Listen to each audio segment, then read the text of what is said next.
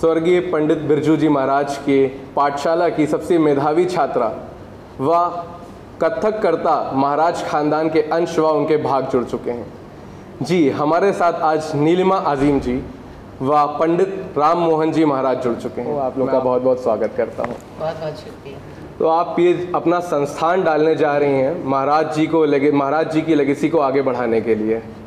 तो इस संस्थान को आपने इसका जो आपने जगह चुनी इसको मुंबई को आपने चुना।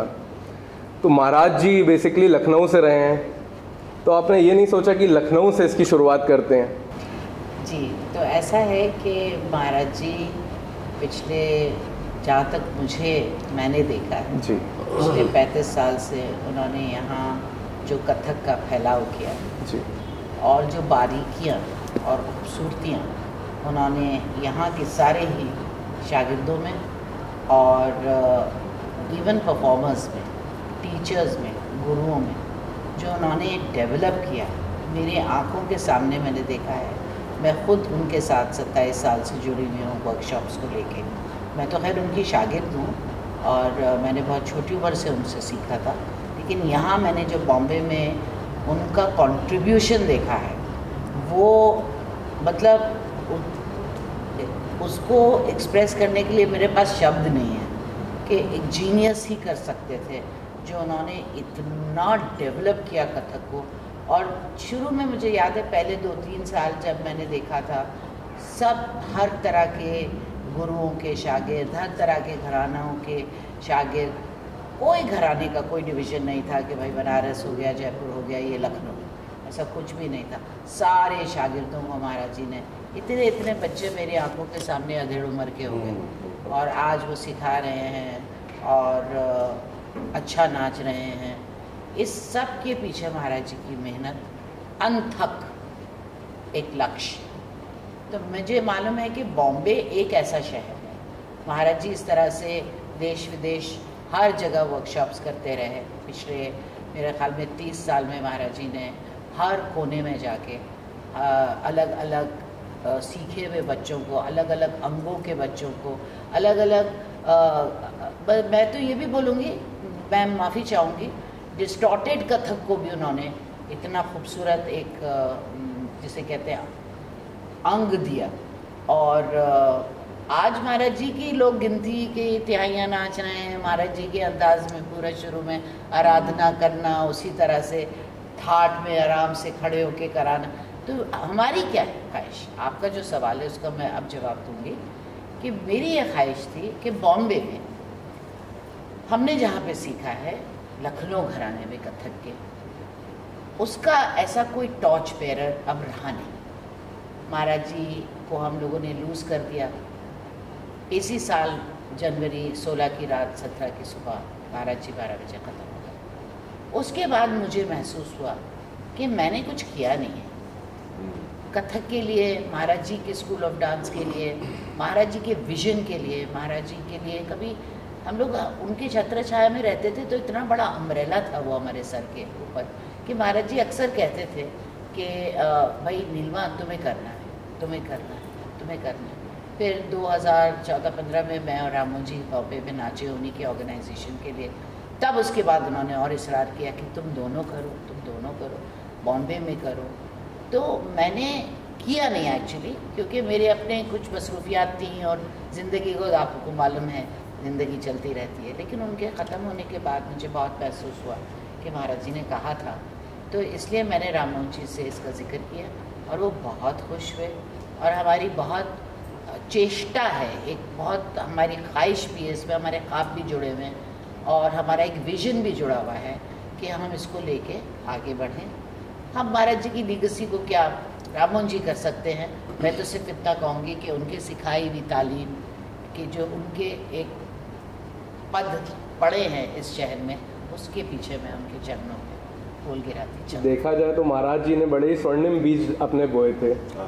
आपने अपनी संस्थान का नाम भी रूट्स एकेडमी रखा है। इसीलिए तो जड़ों को आप बढ़ाते जा रहे हैं। हाँ जड़ जड़ तो ये हैं अब उसको हम मजबूती से वही मैंने बोला बड़े स्वर्णिम बीज उन्होंने डाले थे अपने। जी जी बहुत बहुत। तो आइए प्रश्न उत्तर का सिलसिला शुरू करते हैं। मेरा पहला प्रश्न महाराज जी आपसे है। कथक का अर्थ क्या है और ये कला कहाँ से जन्मा? देखिए कथक जो है हम लोग कहते हैं लखनऊ घराना। एक्चुअल में ये लखनऊ घराने में कथक आया था नहीं। हम लोग का एक गाँव है छोटा जो बनारस और इलाहाबाद के बीच में कहलाता हड़िया तहसील, जहाँ वो मंदिर आज भी है, जहाँ से इस कथक की उत्पत्ति हुई। हमारे जो परबाबा थे ईश्वरी प्रसाद जी, वो वहीं रहते थे। हमारे जितने पूर्वज थे, सब हड़िया में रहते थे। तो वहाँ से वो लोग कथा कहा करते थे। तो कथा से कथक की उत्पत्ति हुई। पर जब नवाब वाजिद अली शाह लखनऊ आए, जब उनको पता लगा कि ऐसा ऐसा नृत्य वहाँ होता है जो कृष्ण के ऊपर आधारित है और कृष्ण की ही रासलीला, कृष्ण के ही भजन होते हैं तो एक्चुअल में जो नवाब वाजिद अली शाह थे, वो थे तो मुसलमान, पर कृष्ण के भक्त थे। उनकी तीन सौ बीबियाँ थी।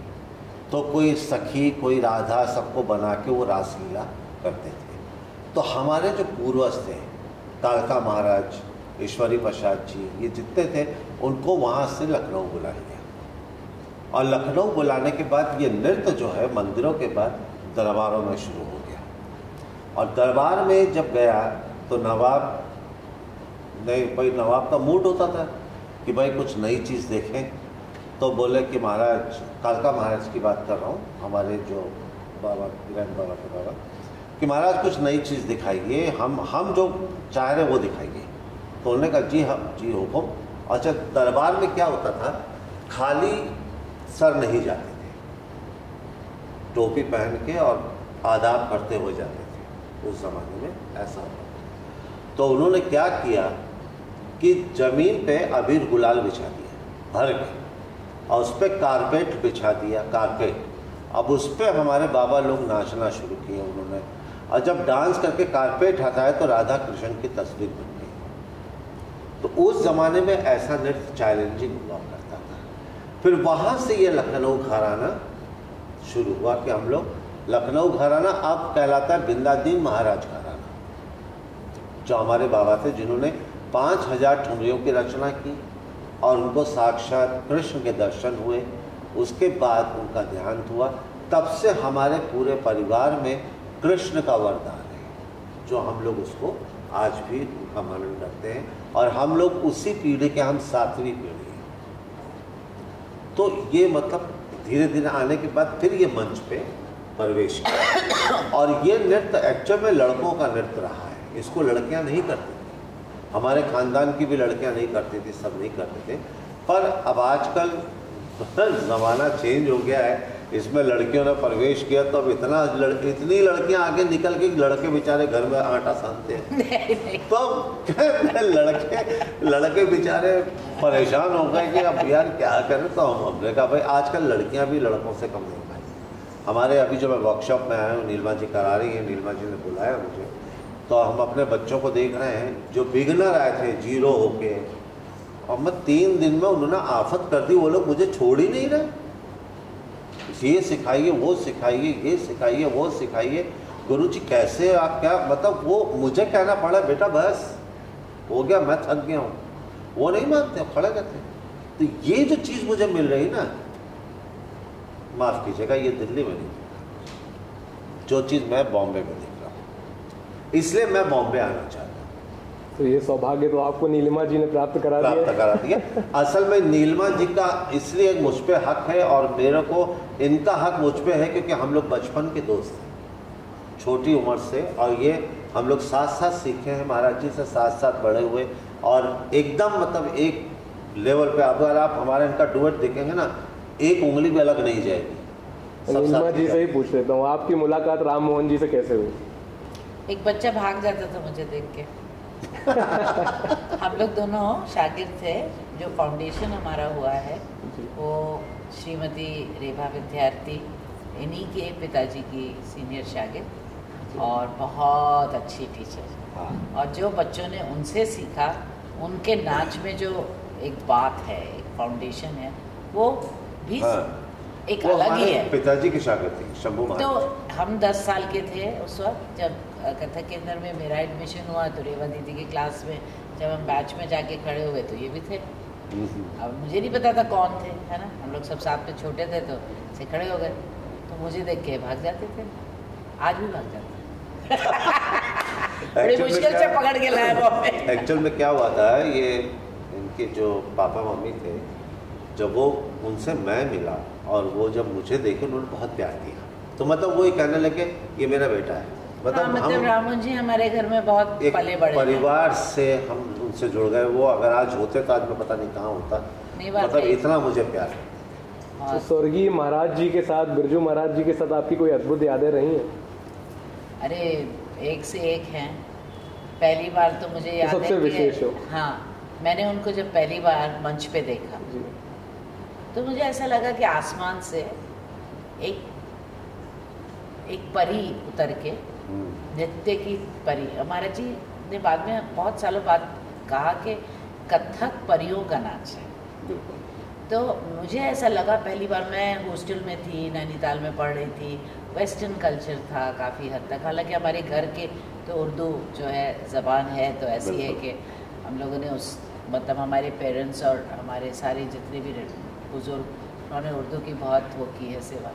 तो मैंने जब महाराज जी को पहली बार देखा तो बहुत बड़ा फेस्टिवल था पुराने किले में जिसमें दिग्गज कलाकार सारे उस्ताद विलायत खान साहब पंडित रविशंकर सितारा जी मतलब नेम एट यामिनी कृष्ण कृष्णमूर्ति उस सब में जब महाराज जी स्टेज पे उतरे तो मुझे ऐसा लगा कि बादल से कोई उतर के आया है। और इतने सुंदर उस वक्त एकदम यंग थे और हम तो बोल ही नहीं सकते। उन, उनकी नृत्य के बारे में तो हम क्या ज़िक्र करेंगे या क्रिटिसिज्म करेंगे? हम लोग हम मेरा तो हार्ट ऐसे बीट कर रहा था मुझे ऐसा लग रहा था जैसे हज़ारों घोड़े इस वक्त जो है वो हाँ। वो भाग रहे हैं। और तब भी आज भी महाराज जी के कान में मैं जाके जब महाराज जी को प्रणाम करती थी और वो गले मिलते थे प्यार से तो मैं कहती थी माई एंजल ऑफ़ डांस तो कहते थे मेरी अच्छी आ गई। वैसे मैं आपको बताऊँ कि जैसे जहाँ तक नाच का सवाल है, महाराज जी ने डांस को एकदम पलट दिया। जैसे पुराना नाच जो था, उसमें ग्रेस नहीं हुआ करता। और महाराज जी ने उसमें जो रस डाला, जो ग्रेस लाया, जो खूबसूरत अंग बनाया, सब कुछ किए आज सारी दुनिया वही करती है। सब उनकी कॉपी करती है।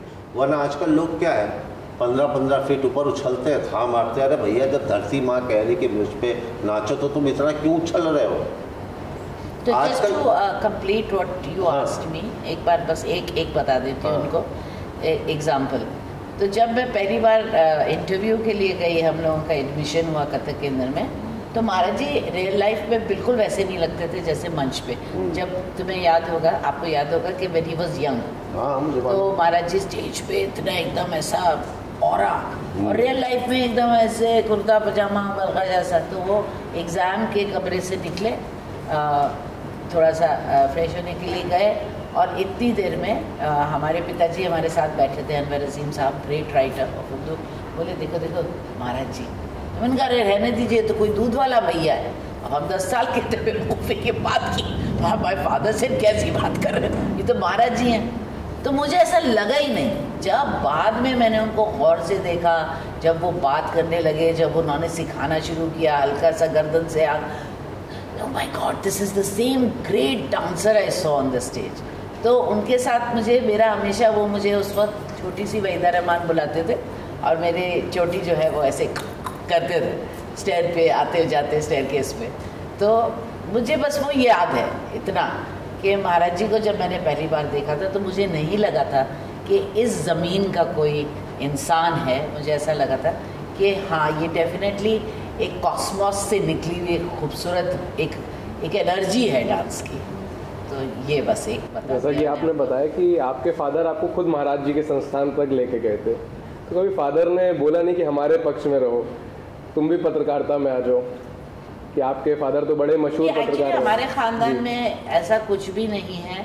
हमारा my father used to always say that art is dimension which has many offshoots so there there are there are layers and layers so you could be a singer and you could be a dancer और you could one day discover you a poet और one day you might suddenly start speak you know speech which is theatre drama so my father used to always encourage that do not suppress anything inside yourself which is actually coming most naturally from within.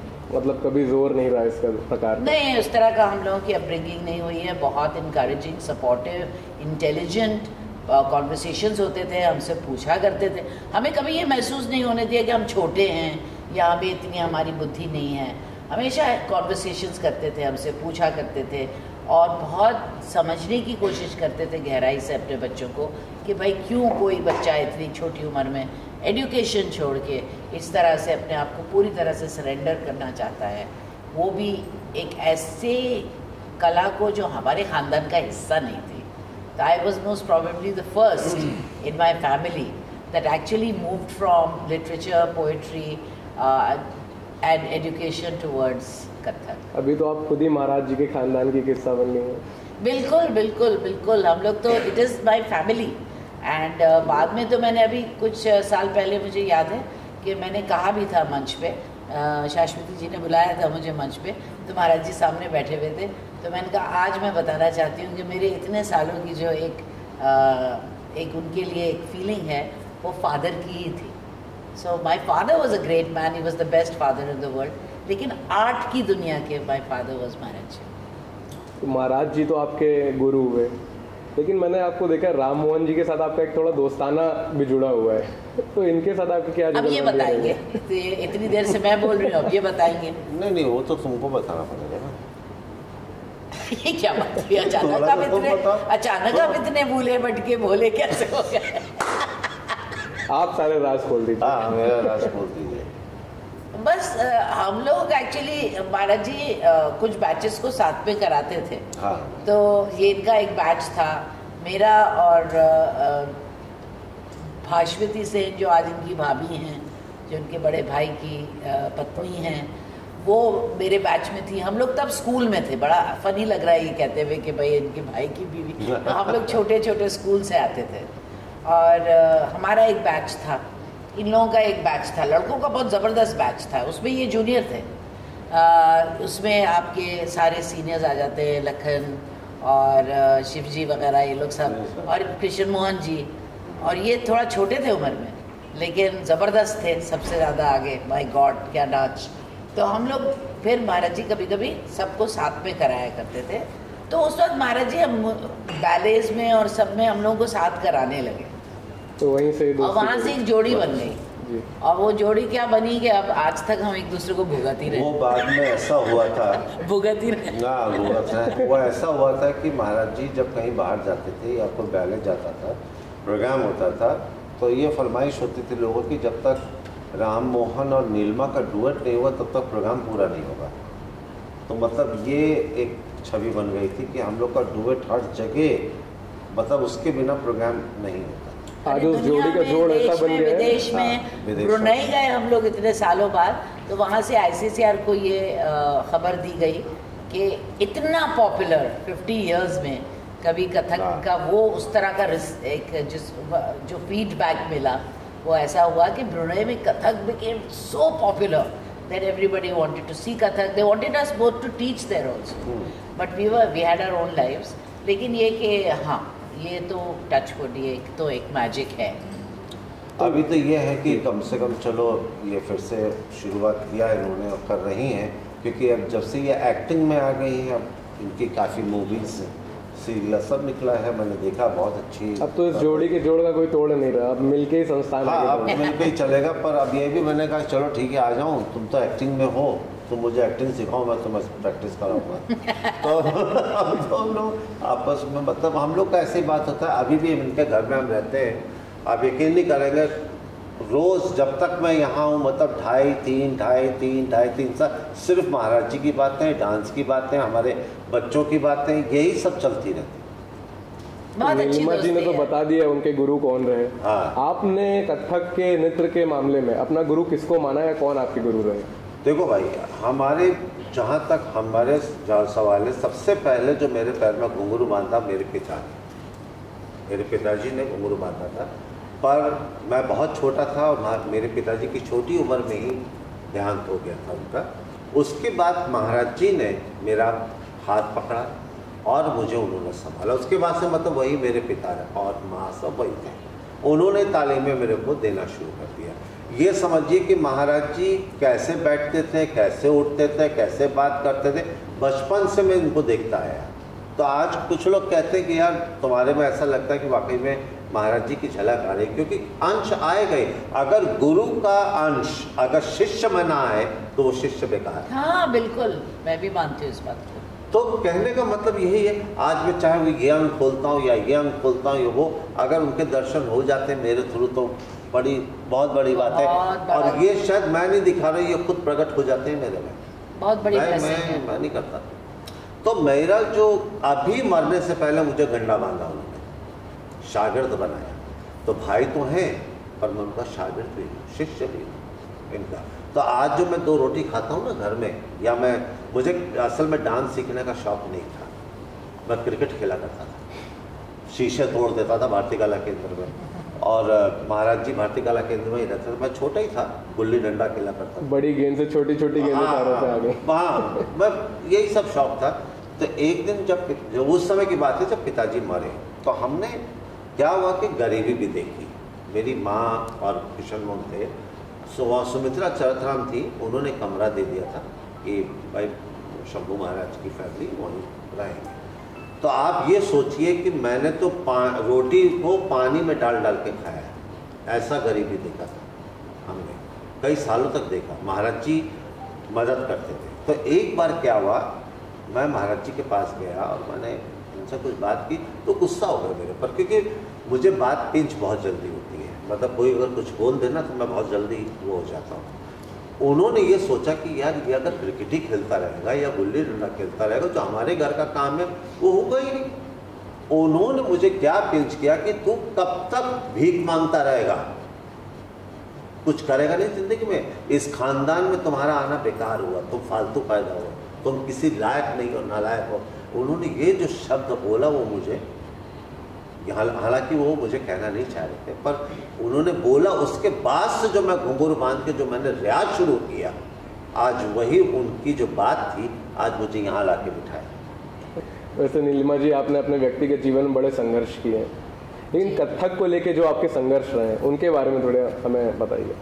भाई जो हर शागिर्द का संघर्ष होता है वो मैंने भी फेस किया कोई ऐसा एक्स्ट्रॉर्डनरी अलग से हटके नहीं किया। रियाज करना, स्टेज पे कभी कभी बड़ी मुश्किल में नाचना, तबीयत ख़राब है हाई फीवर है तो करना show must go on show के नॉट स्टॉप एंड अपने गुरु की तरफ़ टोटल सरेंडर उसमें कई बार ऐसा होता है कि हमारी अपनी जो आइडेंटिटी है या हमारा जो अपनी अपनी सोच है, उसको आपको बैठाना पड़ता है। You have to absorb you have to sponge एक स्पॉन्ज की तरह यू हैव टू बी और महाराज जी से सीखना आसान किसी के लिए भी नहीं था। Because he was a continuous flow of creativity of very complicated complex rhythmic patterns and everything और ये ये ये ये बनता रहता था उनका। कई बार तो ऐसा होता था कि हम लोग का हाजमा ख़राब हो जाता था। उस ज़माने में ये सब नहीं थे आपके वीडियोज़ और ये सब ले लेना। यही कंप्यूटर था हमारा। जो उन्होंने कह दिया, जो तिहाई बता दी, जो टुकड़ा बताया भैया आप खुद ही सीख लो। और कभी कभी इतने मूड में कि पूरे दिन सिखाते थे। और कभी कभी एकदम बैठे रहते थे अपना सरोद लेके या यू नो बीच में उन्होंने और भी इंस्ट्रूमेंट्स ट्राई किए कभी गा रहे कभी कुछ। तो ऐसा जिस दिन उनके फ्लो में आता था वो ऐसा सिखाते थे बाई गुडस हर इंसान सीख नहीं सकता उनसे उस तरह से जम के। तो मेरा कहने का मतलब है यही एक संघर्ष था और क्लासिकल डांस में उस तरह से सपोर्ट पैसा ग्लैमर या उस तरह की पॉपुलैरिटी या उस तरह का वो नहीं है। तो there is a lot of struggle with dance it is not easy to be classical exponent you know तो बट ये कि डिवोशन इतना था और सबसे ज़्यादा बढ़ के मैं समझती हूँ इश्क था इबादत थी। तो इसलिए कभी महसूस नहीं हुआ इतना कि बड़ा स्ट्रगल करना पड़ा हमको। लेकिन तकलीफ़ें तो सारे कलाकार जो हैं वो फेस करते हैं स्पेशली अनफॉर्चुनेटली हमारे देश में। हाँ। आपके दोनों पुत्र हैं बहुत ही खूब कलाकार हैं शाहिद जी ईशान जी, जी। बहुत बहुत तो इनको भी कभी आपने कथक की शिक्षा दी? उनको आता है। नहीं तो ये प्रेरणा कहाँ से? प्रेरणा शोध उनका कौन रहा? आप रहे महाराज जी रहे राम मोहन जी महाराज जी रहे। मैं रही जी। क्योंकि मेरे साथ वो हमेशा रहे। और महाराज जी तो इंस्पिरेशन नहीं था उनके लिए। एक बहुत बड़ा जहाँ थे। और राम मोहन जी उनके फेवरेट राम मोहन जी को मेल डांसर्स में नहीं वो तो बहुत ज़्यादा पसंद करते हैं। पसंद करते हैं उनका नाच उनके उनके नाच में जो पावर है जो एक मैस्कुलिनिटी है, एक उनका एक कहते हैं ना लिथ मसल वर्क है रामोन जी के नाच में। वो सब मेरे बेटे को बहुत पसंद है because they also follow dance in a certain way and it's a muscle performance which Ramon ji has got it's a very personal set of his style you know तो वो बहुत पसंद करते हैं और मैं तो उनकी इंस्पिरेशन हुई हर चीज़। देखा जाए तो आज के समय में आप बहुत ही ज़्यादा सराहनीय कार्य कर रही हैं। क्योंकि कहीं ना कहीं आपने देखा था जितने भी सच में बहुत खूब कलाकार थे वो कहीं ना कहीं विलुप्त होते जा रहे थे। क्योंकि वो अपनी अपने जो भी उनकी कला है उसके अभिनय में लगे रहते थे उसके प्रयासों में लगे रहते थे और बेहतर से बेहतर करने में। तो उन्होंने कभी भी ये मायावी दिशा में नहीं आ पाए वो डिजिटल वर्ल्ड में नहीं आ पाए दूसरी भाषा में कहें तो। तो उनको निखार के लाना उभार के आगे लाना इस प्रकार। और कथक देखा जाए तो कहीं ना कहीं हमारे देश में लोग भूलते जा रहे थे जो यूथ आ रहा है जो जितना भी यंग जनरेशन आ रही है इसको तो शायद पता भी ना हो कथक क्या चीज़ है। तो इसको दोबारा से इस फ़ील्ड फॉर्म में लाने के लिए आप जो जिस प्रकार का कार्य कर रही हैं बहुत ही मुझे मेरी तारीफ़ इतना मत करिए क्योंकि अभी तो हम लोगों ने नींव रखा है जी। और अभी शुरुआत है। अभी इसको जरा खिलने दीजिए इसका हाँ। बहुत खूबसूरत एक वृक्ष बनने दीजिए और ये सारी चीज़ें जो हैं दुनिया तक पहुँचे। और जैसे ये शागिर्द हैं ये आके जुड़ गए हैं इनसे पूछिए इनको कैसा लग रहा है। और इन्होंने सीखा है बड़े मन लगा के बच्चे चली गई हैं इनमें हाँ से चलिए गए चलिए बट मैं अब आपसे आज्ञा चाहूँगी और सबसे पहली बात ये निर्मा बैठी मैं बता देता हूँ। इसमें सबसे अभी जो बीच में मेरे बेटे जी हर्ष जो हैं उन्होंने बहुत मेरी हेल्प की मदद की और बहुत सारे लोगों से बात की है उन्होंने कि जहाँ जैसे नीलमा का भी कुछ यहाँ भी एकेडमी खोले इसकी ब्रांच अलग खोले इसकी ब्रांच अलग खोले तो इस तरह से हम चाहते कि पूरे बम्बई में कोई जगह ऐसी ना हो जहाँ रूट्स एकेडमी का ब्रांच मैं so तो आशा करता हूँ कि पूरे देश में ऐसी कोई जगह ना बस। थैंक यू सो मच बहुत बहुत शुक्रिया मैं आपका ज़्यादा वक्त ज़ाया नहीं करूँगा। प्रयास है जी। और प्रेरणा हमारे गुरु हैं इनका आशीर्वाद है और हमें हमारे हमारे नृत्य से बहुत मोहब्बत है। एक चीज़ और और इनकी बता देता हूँ मैं। रुक जाओ। महाराज जी मेरे बड़े भाई साहब किशन मोहन तो एक ही बात नीलमा को बोलते फ़ोन करके देखो राममोहन आ रहा है जरा उसको टाइट रखना। अच्छा। क्योंकि बहुत ज़्यादा शैतान है। मतलब मैं बोलता बहुत हूँ बक कर लेता हूँ। ऐसे अब जब से मैं आया हूँ तब से ही मुझे टाइट रखे हुए हैं। कसम नहीं के नहीं, मैं साँसें नहीं घोट रही हूँ नहीं नहीं। नहीं नहीं सांस नहीं घोटो सांस घोटोगी तब तुम्हारा नहीं घोट देगा तो हमारा इसी तरह मज़ाक हम लोग का हँसी मज़ाक ज़िंदगी में अगर जीना है ना खुश रहना सीखिए। चाहे वो मज़ाक करिए चाहे जोक करिए जैसे भी हो। समय का भी सीरियस नहीं हुआ। तो ये मेरे और नीलमा में एक चीज़ है कि हमें जो हँसी मज़ाक करनी पड़ती है इससे कहता हाँ भाई बम्बई का माहौल इन्होंने देखा है मैंने नहीं देखा। मुझे नहीं पता बम्बई का वातावरण क्या है। अगर मैं कहीं गलत जा रहा हूँ तो ये धीरे से मुझे यहाँ ये नहीं चलता यहाँ ये चलता। नहीं नहीं तो, नहीं नहीं नहीं नहीं। तो मैं आपका ज़्यादा वक्त ज़ाया नहीं करूँगा मैम। एक आखिरी प्रश्न है आप जाते जाते अपने फैंस को क्या संदेश देना चाहती हैं? आइए कथक सीखिए। मतलब हर चीज़ नाच से ही सीखेंगे। अभिनय के लिए नृत्य सीखना मेरे ख्याल में बहुत ज़रूरी है। और कथक इसलिए कि उसमें एक नेचुरल अभिनय उसमें एक नेचुरल फ्लो है। उसमें बहुत लय के साथ, एक बहुत ही चंचलता के साथ खेल है। जब हम सीखते सीखते वहाँ तक पहुँच सकें, तब। लेकिन कहने का मेरा मतलब है कि मुझे ऐसा लगता है कि every actor for every actor it is very important to have rhythm in them and is very important to have that body language to have that that speed and the ability to perform and be a character so Kathak is a very important very important tool tool very uh, जिसे कहते हैं skill. तो it should be a part of your uh, you know your your tool uh, skill box. It's very important. Ma'am मुहूर्त बताते जाइए। कब शुरुआत करने जा रही है संस्थान की अभी इतने बड़े-बड़े नहीं, secrets नहीं, पूछ रहे हैं। नहीं नहीं मुहूर्त शुरू हो गया अभी न- भेजा शुरू था। हो गई? नहीं नहीं अभी वो भेजा था नारियल लेने मार्केट में नारियल है नहीं। फोड़ने के लिए वक्त नहीं है वो नारियल भेजा था फोड़ने शुरुआत हो गया। अरे क्या ज़रूरत है तो ये हमारे है ना। गुरु का आशीर्वाद है। सब शुरू हो गया। एक्चुअल में जो लय की बात started. हाँ। We have already started the flow from the शुरू workshop into regular classes. सो ये श्री गणेश हो चुका है। वो जब हम लॉन्च करेंगे इसको ऑफिशियली तो हम आपको बताएँगे। बहुत बहुत धन्यवाद मैम आपने हमें माध्यम बहुत बनाया। बहुत धन्यवाद आपने हमको सपोर्ट किया। आप इसका चर्चा कर रहे हैं और आपने पूरा दिन आज हम लोगों के लिए इंतज़ार किया। उसका बहुत बहुत धन्यवाद। और हम मिलते रहेंगे अब तो। बिल्कुल। काम करते रहेंगे साथ में। बहुत बहुत शुक्रिया। आई टेक द माइक हाँ, हाँ, हाँ। तो महाराज जी मेरा आपसे अगला प्रश्न ये है कि आपका आज तक का पूरे जीवन का सबसे यादगार परफॉर्मेंस कहाँ पे रहा? हाँ वैसे तो हम्म, मेरा सबसे पहला जो प्रोग्राम हुआ था वो बॉम्बे में ही हुआ था कल के कलाकार में जो। होता था। पहला प्रोग्राम वही हुआ। तो सबसे यादगार यही रहा? हाँ यादगार इसलिए था कि महाराज जी तबले पे थे मेरे साथ पहली बार। वो बजाए थे। मेरे साथ बचपन में थोड़ा हम उस समय आठ नौ साल के थे।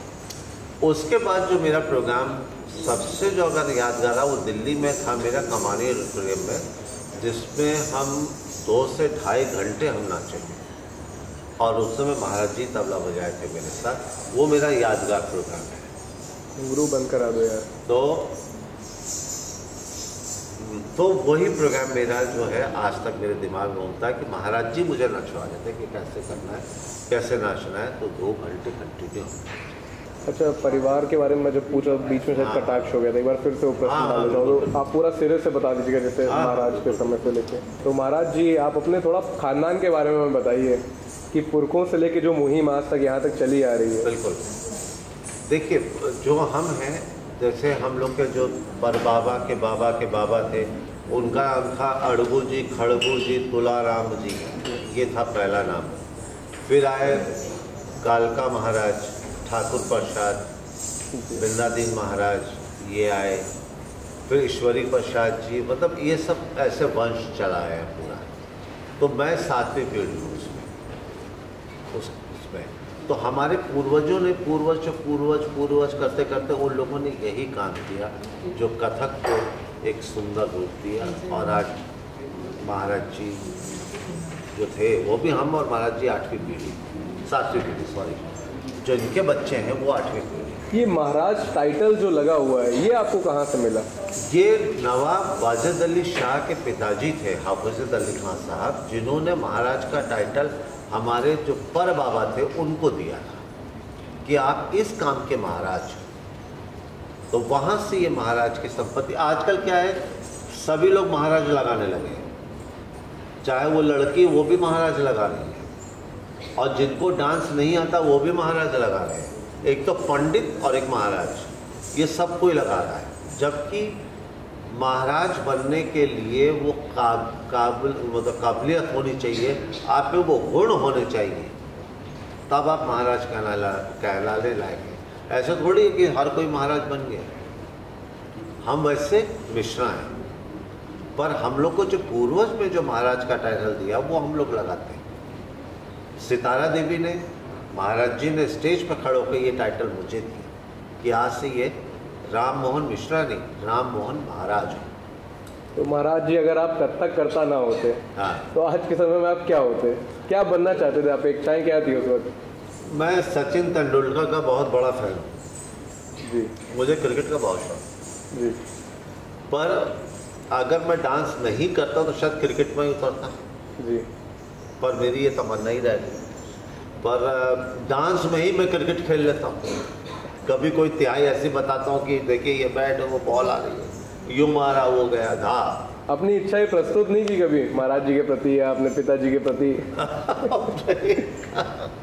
नहीं वो तो फिर शायद कान पकड़ लेते अरे वक्त बाप रे बाप। कान तो पकड़ लिए थे हम डांट भी इतनी बड़ी कला हमारे घर से जन्मी है, हम लेके चल रहे हो तुम अलग ही जा रहे अलग ही जा रहे हो वो तो कहने लगे अबे अच्छा खासा लखनऊ जा रहे तो चले गए कलकत्ता। तो वो दो महाराज जी ने तो पकड़ पकड़ के मुझे सिखाया सब किया। तो आज तभी तो हम यहाँ बैठे हैं। आपके दो बेटे भी हैं मैंने सुना है। हाँ। तो उनको कभी आपने जैसे आपके पिताजी आपके बड़े भाई ने आपको कान पकड़ के इधर ले आए हाँ। चल हमारे पाले में आ जा। तो आपने अपने दोनों बेटों को कभी ज़ोर नहीं डाला? इसलिए ज़ोर नहीं डाला है कि देखिए इस कथक की जो अवस्था है ना जी। बड़ी खराब है। जी। अभी हमारे तक सीमित है। जी। इसके बाद इसका भविष्य क्या होगा वो हम नहीं कह सकते। कोई भी नहीं बता सकता कि इसके आगे भविष्य क्या है। इसलिए मैंने अपने बेटों को यही बोला था कि बेटा ये लोग ऐसा नहीं कि वो लोग नहीं करते उनको भी नॉलेज है। वो कौन क्या अच्छा कर रहा है कौन बुरा कर रहा है वो पकड़ लेते हैं और समझ लेते हैं। पर हमने कहा कि साइड टू साइड कुछ और अपना सोचो जिससे कि तुम लोग जो सफ़र हम कर रहे हैं वो लोग ना करें। तो आपके दोनों पुत्र इस वक्त क्या कर रहे हैं? भाई हमारे जो छोटे बेटे हैं वो एडिटिंग में हैं बड़ा अच्छा काम कर रहे हैं और बड़े नाम कर रहे हैं बड़े अवार्ड वार्ड मिले मतलब कहीं ना कहीं इंडस्ट्री से जुड़े हुए हैं। जुड़े हुए और हमारे जो बड़े बेटे हैं हर्ष जी। वो एनिमेशन और वो उसमें हैं बड़ा क्या बोलते हैं? V F X V F X में। और बड़ा अच्छा काम कर रहे हैं वो स्ट्रगल कर रहा है बहुत। और वो 11-12 साल से बॉम्बे में ही है। वो यहाँ आके जो मेहनत कर रहा है जो स्ट्रगल कर रहा है भगवान उसको तो अच्छा मतलब रखे और अच्छा अपनी कामयाबी हासिल करे। हम यही चाहते हैं उसके तो महाराज जी अब ये जो आपके खानदान की लेगेसी थी तो आपको क्या लगता है आखिरी पीढ़ी आप ही बचे हैं कि नहीं नहीं ऐसा नहीं। नाती पोतों से उम्मीद कर सकते हो। हाँ बिल्कुल वो तो नाती पोते भी और दूसरा चीज़ क्या हम ऐसे शिष्य बनाना चाहते हैं कि शिष्य लोग जब नाचे स्टेज पे तो कल को वो मेरा नाम लेके हम इनके शा, इनके शागिर्द हैं। तो भाई देखिए लड़कियाँ हैं इतनी सारी ये सब मेरे दो बेटे हैं बेटी नहीं थी तब ये सब मेरी बेटियाँ ही हैं। तो इन पर मैं अपना हक जताता हूँ रियाज करो मेहनत करो कुछ बनो आगे बढ़ो ताकि तुम लोग मेरा नाम रोशन एक कहावत भी गुरु का गुरु की फ़ीस वही होती है कि बस उसका शिष्य बस बस गुरु को कुछ नहीं चाहिए गुरु ने हमेशा दिया है लिया नहीं है। तो ये और ये जो सबसे अच्छी बात है कि बम्बई में नीलमा ने मुझे बुलाया मैं आया हूँ यहाँ कर रहा हूँ। और बड़ा अच्छा मतलब मुझे लग रहा है बम्बई में आके दिल्ली जाने की इच्छा नहीं हो रही है मेरी पर मुझे बड़ा दुख है कि मैं परसों मुझे जाना पड़ेगा। फिर मैं वापस आ रहा हूँ। अच्छा, महाराज जी पहले के समय में कथक पहले के समय के कथक में और आज के समय के कथक में क्या अंतर आया? है नहीं अभी ना कथक कथक सुधरा है पर कुछ डांसर ऐसे हैं कि जैसे वेस्टर्नाइज स्टाइल जो है ना वो कथक में घुस दिया है। तो एक्चुअल में क्या होता है कि जब वेस्टर्न कथक में जुड़ जाता है ना तो वो क्या क्या, कई बार कथक का जो बेस है वो छोड़ देते हैं। वो वेस्टर्न में आ जाते हैं।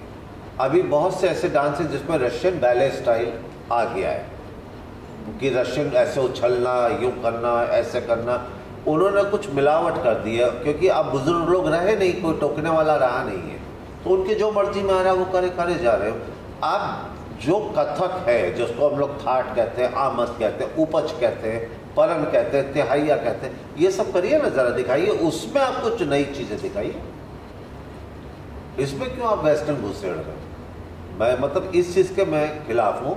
और हमारी जो, जैसे फ़िल्म इंडस्ट्री है, हमारे वहाँ उसमें भी कथक दिखाते हैं, पर ये लोग भी कथक कहाँ दिखाते जब कोई कोठा या तवाइफ की जगह होती है, वहाँ नादिन दिन्ना नादिन दिन्ना दिखा देते हैं। मतलब इसकी वजह से और हम लोग बदनाम हैं। जबकि ये ऐसा नहीं है। तो महाराज जी का कोई ऐसा स्वप्न रहा है जिसको लेके आप इस समय कार्यशैली कर रहे हो? मैं तो बस कोई उनसे अधूरा रह गया हो? नहीं उनका बस यही था।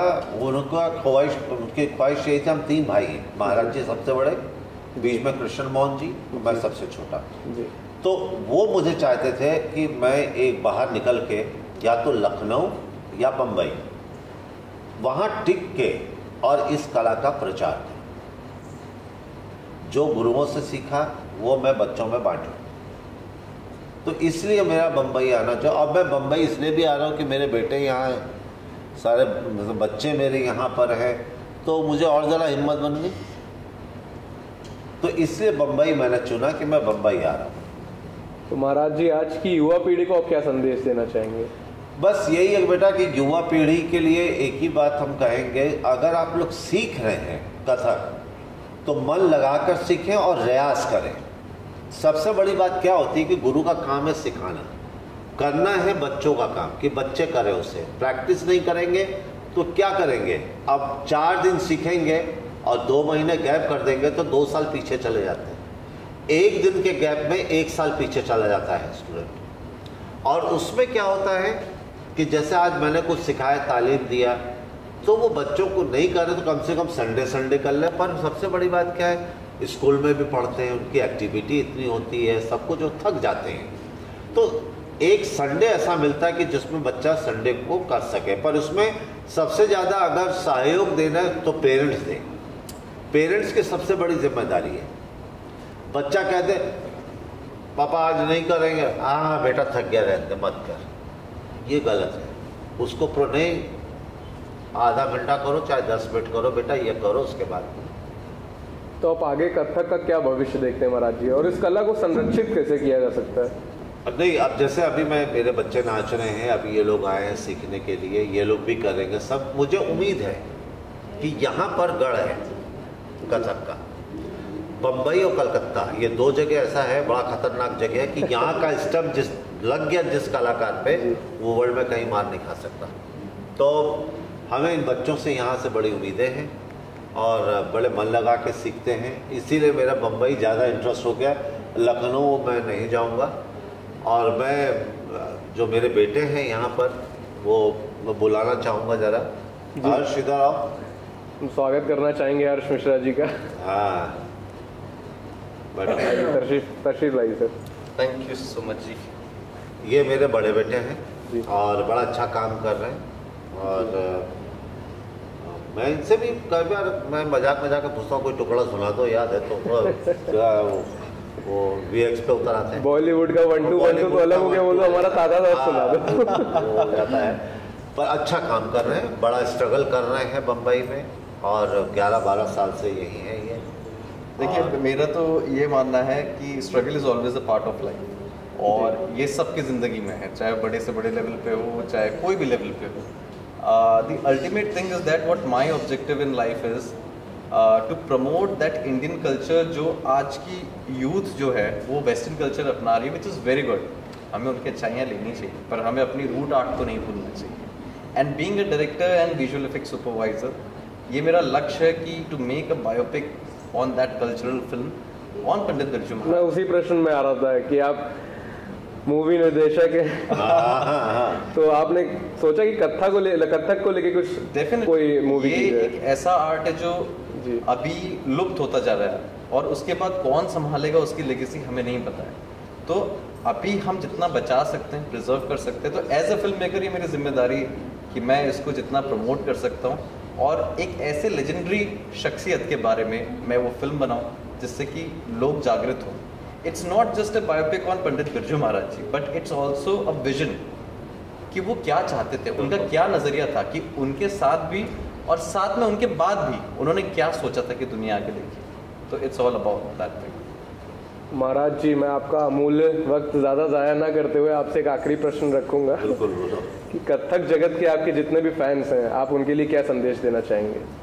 बस जो हमारे फ़ैन हैं कथक के और बस आप लोग दुआ करिए भगवान से कि मेरा जो, मेरी जो तमन्ना है वो पूरी हो और मैं बम्बई में सेटल होके बस हंगामा कर दूँ। सब बच्चों को सिखा के यहाँ बम्बई में फ़ेमस कर दूँ कि देखिए, ये कथक है। मैं जो यहाँ पर सिखा रहे मैं सबको नमस्कार करता हूँ, मैं किसी की बुराई नहीं करता हूँ। सब लोग अपना अपना काम करते हैं। पर बेसिक कथक की जो तालीम है कि उसकी सही दिशा है, उसका सही निकास है वो मैं बताने के लिए चुप रखता हूँ कि मैं यहाँ आके वो बताऊँ, क्योंकि कुछ ऐसे भी स्टूडेंट हैं कि जिनकी तालीम खुद पूरी नहीं हुई है, पर वो गुरु बन गए। उससे क्या बच्चा सफ़र करता है? तो मैं वो नहीं हूँ, मैं तो गढ़ हूँ। मेरे गुरु ने ऐसा बीज दिया कि बेटा ये ज़मीन में बो, पानी डालो, इसका जो पेड़ निकलेगा और आम निकलेगा, वो खाओ। किसी दूसरे के घर से आम तोड़ के मत खाओ, नहीं तो माली डंडे मारेगा तो वो चीज़ें जो महाराज जी ने बीज दी है वो मैं बीज वो सबको देना चाहता हूँ। ताकि सब लोग वो मेहनत करो खाओ और फैलो दुनिया में। महाराज जी आपका बहुत बहुत धन्यवाद। हमारे साथ आप जुड़े हमें माध्यम बनाया अपने संघर्ष की कहानी बताने का व देश के जितने भी अपने नौजवान हैं उनको अपना संदेश पहुँचाने के लिए बहुत बहुत धन्यवाद। और आप लोग का सबसे ज़्यादा धन्यवाद कि आप लोग मुझे आए। इसमें एस नाइन में। और मैं चाहूँगा ये आपकी आज आपने हम लोगों को पहला इंटरव्यू लिया है पर जब मैं आ जाऊँगा तो मैं चाहता हूँ कि आप बार बार आओ मेरे पास। बिल्कुल। बार बार आओ और मैं नई चीज़ें बताता रहूँ। कवरेज करें। आप लोग के थ्रू मैं फ़ेमस होऊँगा। ये बच्चे सीखते वो अलग बात है पर मीडिया जो है ना वो सबसे सटीक है। मीडिया से ना दुश्मनी करना है ना वो करना है। भैया मीडिया सबसे अच्छी नाइन एस मैं उसके साथ। ना दोस्ती अच्छी ना दुश्मनी दुश्मनी अच्छी। पर मैं आपके साथ। मेरी आपसे एक छोटी सी शिकायत हाँ, है बोलो। आपने बोला ना कि फ़ेमस हाँ। फ़ेमस नए कलाकारों को किया जाता है। ब्रांड जो होता है ना उसकी छाप पड़ जाती है। वो फ़ेमस करने के लिए नहीं होता है। मैं बात तो सही है पर यही है कि मैं ऐसी नई जगह पे आ रहा हूँ। जी। जो अभी थोड़ा आज कुछ जानते हैं कुछ नहीं जानते विश्व घूमने के बाद आप मुंबई को नई जगह बता रहे हैं। नहीं मैं मेरे लिए मेरे लिए क्योंकि मैं तो दिल्ली में रहा हूँ ना। मैं तो वही तो बता रहा हूँ आप विश्व भी घूमे हाँ। बिल्कुल अमेरिका काफ़ी विदेश घूमे आप तो पाँच साल में अमेरिका में था सुरीनाम में था जी। था तो अब अब बम्बई में छोड़ूँगा नहीं मेरा मन लग गया यार। अच्छा लगा मुझे। और आप लोग को तो और आप लोग को तो छोड़ूँगा ही नहीं। बहुत बहुत धन्यवाद महाराज जी। Thank you